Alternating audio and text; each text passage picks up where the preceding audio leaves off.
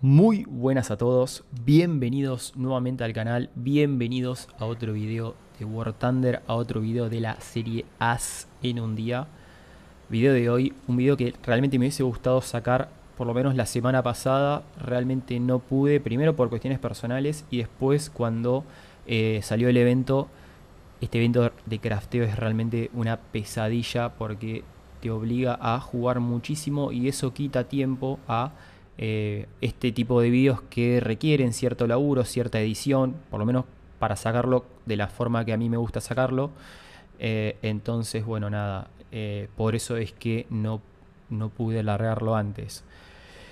Bien, están viendo en pantalla el mítico Su-25, Suhoi 25, avión soviético, súper emblemático de los 80, incluso de los 90, incluso es un avión que está operativo hoy en la guerra de Rusia y Ucrania. Es tremendo eh, el historial operacional de este avión, por eso a mí me encanta, por eso lo amo muchísimo más aún que el A-10 Thunderbolt 2, que es como el Nemesis o, la comparativa yankee, si se quiere, eh, de este avión pero teniendo en cuenta todo este peso específico y que ha sido utilizado en muchísimos conflictos en todo el mundo y por muchísimos países, eh, hace que eh, a mí me guste muchísimo más.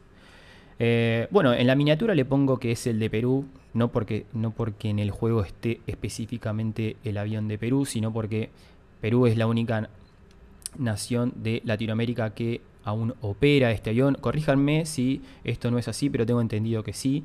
Eh, y como ven en, esta partida no, pero en la que viene van a ver, le puse las eh, eh, la escarapela de Perú. así que es lo que van a ver después.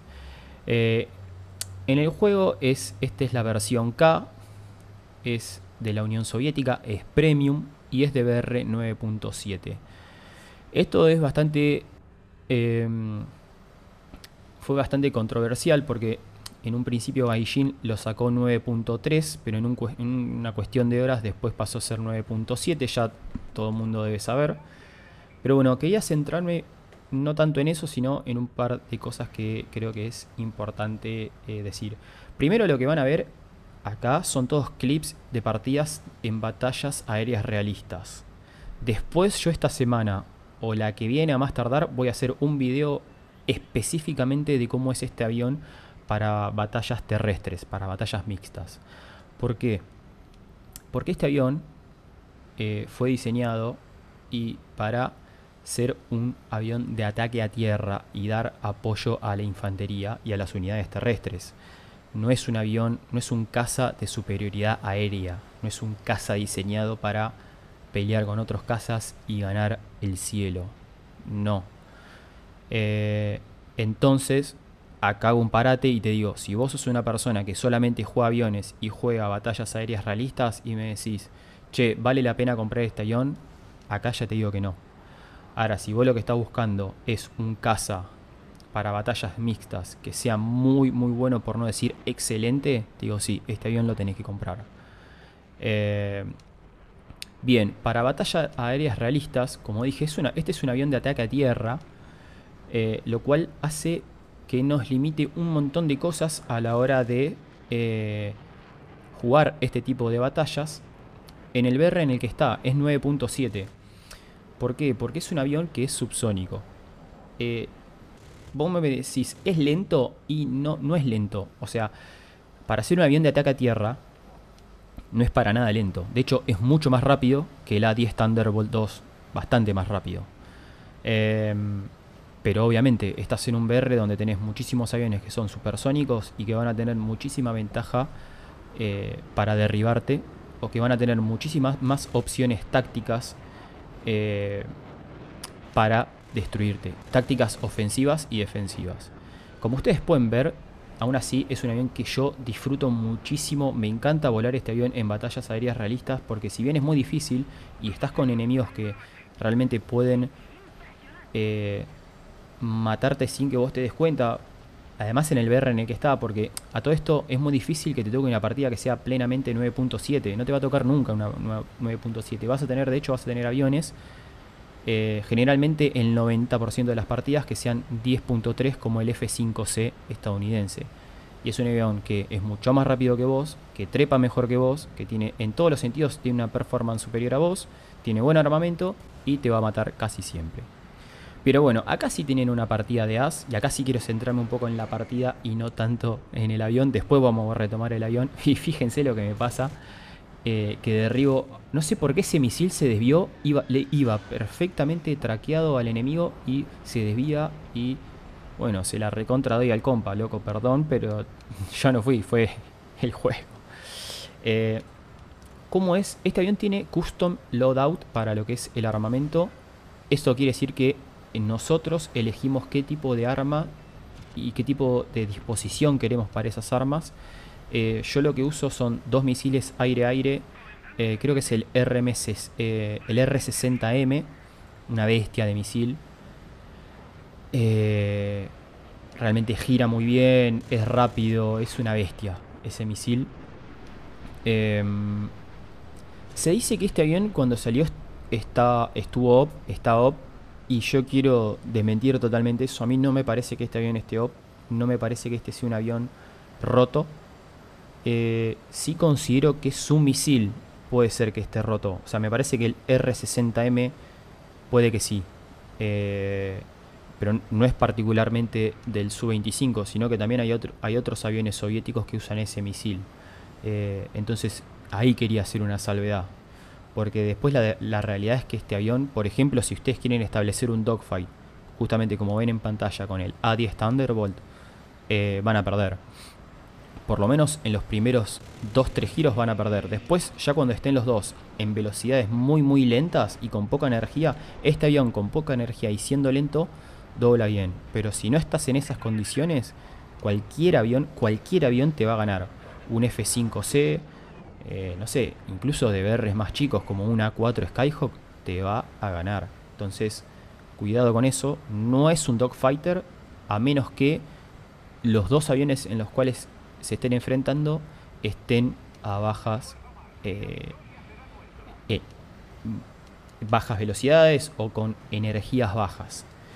Em, tengo, además de los dos misiles em, aire-aire, lo que también tengo son cuatro pods de eh, cañones de 23 milímetros, como ven ahí bajo las alas.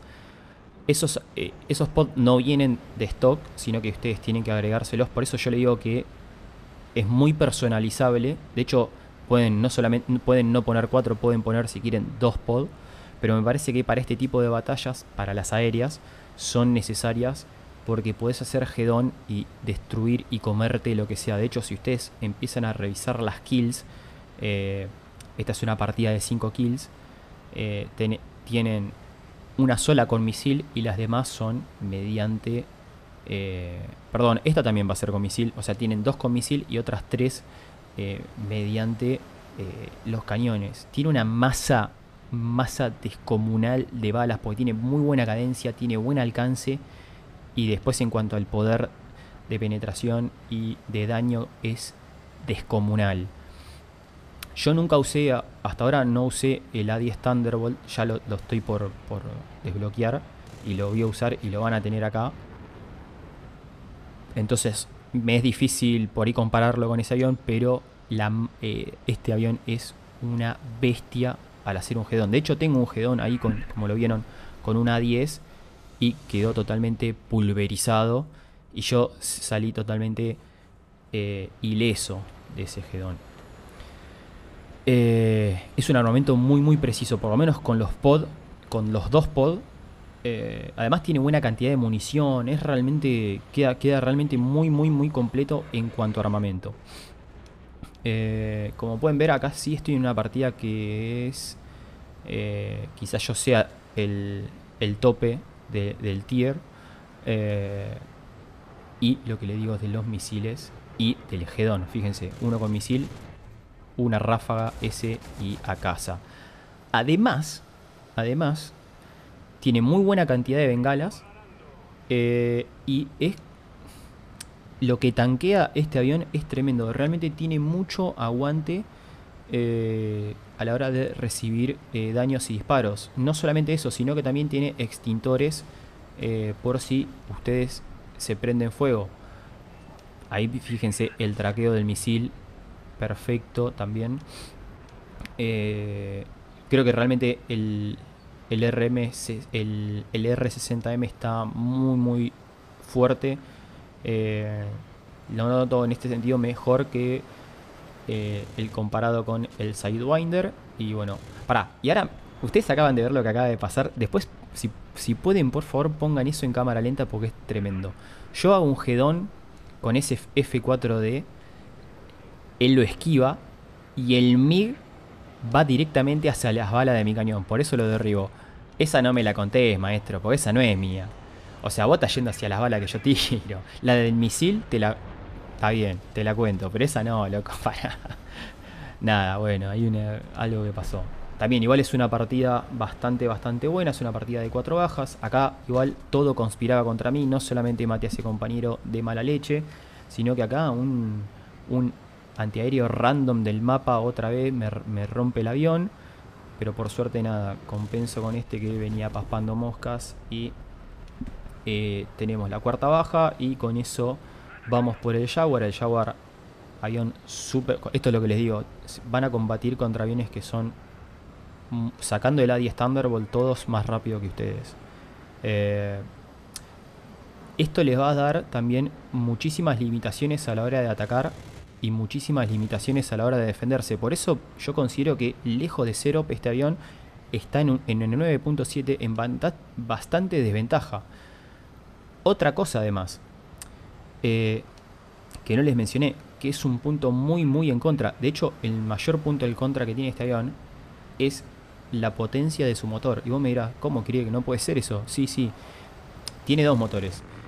Los dos son muy potentes. ¿Por qué son muy potentes? Porque, este, como digo, es un avión de ataque a tierra y está diseñado para llevar muchísimo, muchísima carga eh, en misiles, bombas, en cohetes, bombas guiadas, cohetes guiados, eh, para atacar a tierra. Y nosotros cuando vamos en batallas aéreas realistas no vamos a llevar toda esa carga. Entonces nuestro avión está muy liviano. Esto obviamente nos da mucha más agilidad. Pero ¿qué pasa? Hace que eh, los, motores eh, hagan que vaya el avión más rápido de lo que tiene. Y fíjense que constantemente a mí me pone reducción de velocidad, reducción de velocidad. Porque este avión en el 0.88 Mach se rompe. Eh, y realmente no es difícil llegar a esa velocidad con este avión. Porque, insisto, tiene mucha potencia de motor, estamos livianos y eh, si nosotros tomamos altitud y queremos hacer un picado, vamos a todavía eh, tomar más velocidad y eso nos va a perjudicar un montón. Entonces ustedes van a tener que estar muy, muy cuidadosos de su velocidad, incluso para no pasarse y no romperse al medio eh, por pasar el límite de lo que resiste eh, estructuralmente este avión. Eh, entonces, por eso les digo, es un avión que está muy bueno. A mí me encanta, yo insisto, yo lo súper recomiendo. Ahora, como CAS, después voy a hacer, como dije, un video solamente hablando de lo que es como CAS, porque es descomunal. El poder de ataque a tierra. Este va a ser la pesadilla de los tanques. Olvídense, ya les digo. Eh, pero para batallas aéreas realistas, lejísimos. Lejísimos me parece ser un avión que esté op. Es un avión que de hecho eh, es muy muy fácil de, derribar. Después si quieren voy a muestro con, con otro avión del BR cómo realmente a estos aviones se les puede pelear y muy fácil. Porque además no es un avión que sea dogfighter, no es un avión que eh, nosotros eh, ganemos.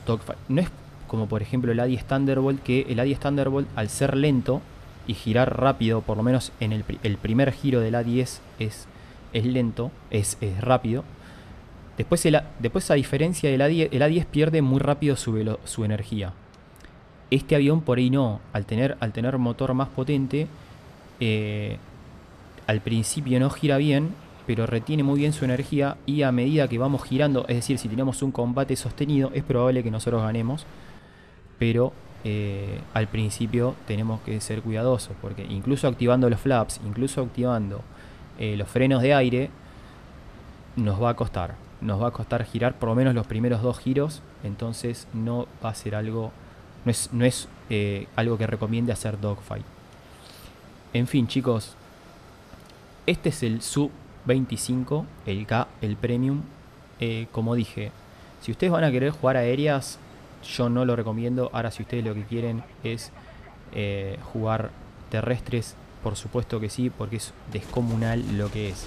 Otra cosa que tampoco me parece eh, como algo para destacar para ser premium es su farmeo de leones o de puntos de investigación. La verdad que no es una locura para ser premium, mucho menos para ser 9.7.